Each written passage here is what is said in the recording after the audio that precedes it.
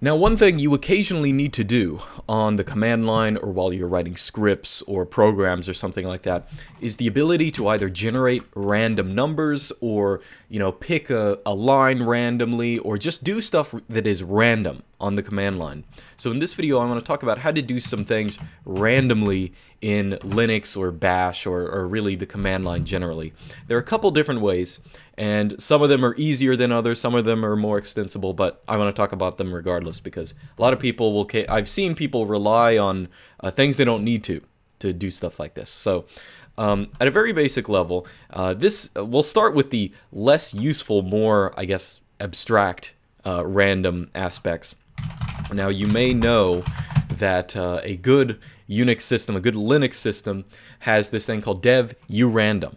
And if you cat it out, you're actually just going to get a whole bunch of random characters. Now, dev urandom, you can look it up. I'm not going to go into the specifics of it, but let's just say that dev urandom is used to generate cryptographic keys. Its entropy is very, uh, I guess, uh, taken care of, so to speak. You know, it's it's the most random you can pretty much get on a Linux system, and it's used by a lot of the the other random tools we'll talk about. So there's dev, urandom, and also dev random. Okay. Now, anyway, let's talk about more practical tools. I mean, you're not just going to want to generate a whole bunch of characters and do something with that. Um, you probably want something more sensible like numbers or, well, anyway. Uh, so you may know, I assume that most people are using Bash. And if you are, there is a special variable called random. Now, if you echo random, you are going to get a number, a random number, not just any random number. You can actually check the manual for bash. Let's do that for a second. And um, you can look it up and you'll see that what this variable does is it generates a number between 0 and 32,767. Now that, you know, practically speaking, that sounds a little arbitrary. When do I ever need a range like that? Well, how people usually use random is, um, you know, one smart little hack that people do for it is let's say we want a, a number uh, between, you know, one or, you know, we want a range of 10, basically. What we can do is we can actually do bash arithmetic and get the modulo of random by 10. And what that will do is effectively give you, so modulo, I guess most people might know, but modulo is if you divide this random number by 10, what is the remainder? So what this means in this respect is that we're going to get a number, I think, from 0 to 9. Yeah, and so effectively this is 10. Um, or if you actually want it to be able to get to 10, you can actually say, and let's let's add 1 to that, so I think we can get a 10. Yeah, so there's a 10. So that's a good way of random number generation as well. It's a little strange, of course, because you do need to do uh, some bash, bash arithmetic, and you you can't manually specify exactly what you're doing. You're sort of doing it or beating around the bush, so to speak. But you can do it with pretty much any kind of number. You can say, you know, a random number between 1 and 100 and run that over and over again. So that's one possibility, and that's usually the quicker possibility. Um, but the drawbacks are, one, it looks a little ugly, and two, it also is bash specific, so if you're using another, um, if you're using, using some other kind of uh, shell, let's say dash, uh, which is very ugly because my PS1 is sort of funky looking, but you know, let's say you're using something like dash, if you echo random, nothing's going to happen. This is a bash specific thing.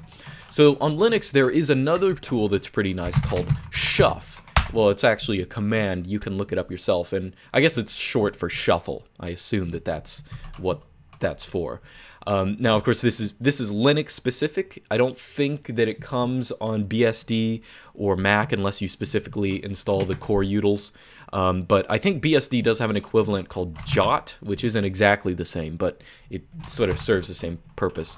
So what shuf does, so we'll, we'll, I'll show you what shuf does by default, and you can use it for random number generation or other stuff, but um, so I have a file on my computer um, that I, it's basically a database of emoji. Okay, so if you watch my channel, you may know I have this nice little thing. If I want to type a cake emoji, I just have this nice little window here that I can select uh, an emoji from, and it ba basically reads this file that lists out all the emoji with their uh, names. Okay, so I have this little file. Let's say I want to, well, actually, let's just run shuf on this file. And see what happens. What happens is it actually goes through the file, takes every line, and it puts all those lines in a, ra a random order. So all these, you know, this is not the natural order of this file. Uh, it, uh, in fact, if you cat it out, you'll see it actually ends with flags and stuff like that. But if I run shuf on it, it will put those uh, lines in a random order. So let's talk about some other things you can do here. So I can give it the in option. Let's say I only really want 10. Okay, I can get 10 of those, and it's just going to give me 10, and that's it. Or let's say we only want one. I can have one, uh, one and only one emoji. Now you might ask yourself, okay, so shuf right now, as it is, is actually just um, randomly shuffling up the, the lines in the file. It's not duplicating them. But let's say, uh, well, actually I'll give the example of numbers first. In addition to giving it files, you can also give it the I option. And let's say we want a number between 1 and 10. Um, and it's going to basically take that range from 1 and 10, and it's going to randomize that, okay? So these are all random, and if we want only one of those, again, we can give it the in option, and we get 8. So one question you might have is that, uh, or you might notice, of course, is that it's only using each one of these numbers once. It's not like randomly drawing 1 through 10 uh, 10 times, because each of these numbers is only used once. So when we get down to here, the chance of the last number being 8 is 100%, because every other number besides 8 has been used. Um, but if we, uh, so let's say we run it with the R option, it actually it doesn't exhaust any of the options. It just continually prints them out. So if I run, if I say I want 10 draws from 1 through 10, but I want you to repeat the numbers because I gave it the R option, you'll see that it generates these numbers, but there are actually some duplicates. So 2 appears twice, um, 5 appears twice, there might be another one that I don't immediately see, but so if you give it the R option, it can re repeatedly draws from uh, a file. So this can be important. I mean, it all depends on what you're trying to do. If you're just trying to shuffle something up, if you're just trying to, you know, let's say give give options to someone, let's say you're doing in an experiment or something like that. Let's say you just want to give options to someone in a random order. You don't want to use the R option because you only want everything once. But if you just want to generate some random numbers, R might be a good option. Um, so let's play around with this just because why not. So as an implementation, let's say, so I mentioned a second ago, so I have this emoji file. So if I want uh, a little command that randomly generates an emoji, I can of course give it, uh, you know, one.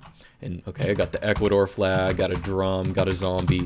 Now let's actually go a little further. Let's cut out, because I only really want the emojis. So I'm going to cut out um, everything but the first element here. So we got this little arrows, A, B, C, D. Is that a noose or something? I, what is going on? Anyway, so I can get random emojis like this. Um, and I'll play around with it. Let's say, so I'm going to add to my status bar up here, just because why not? Just because we're doing a video on it. Um, I am going to add to my status bar this little command, uh, i3 blocks, totally forgetting where everything is.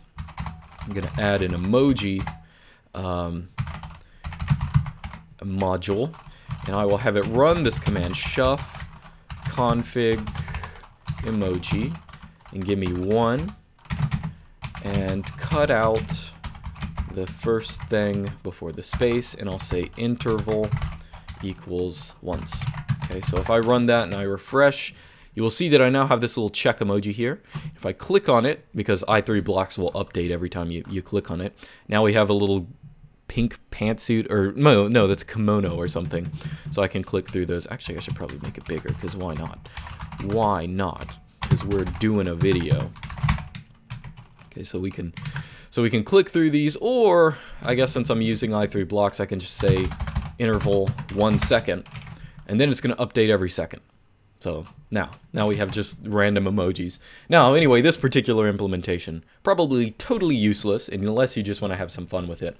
Uh, but I know a lot of you guys use, something like cowsay or one of these decorative uh, things to generate stuff, and Shuffle is nice for using for that.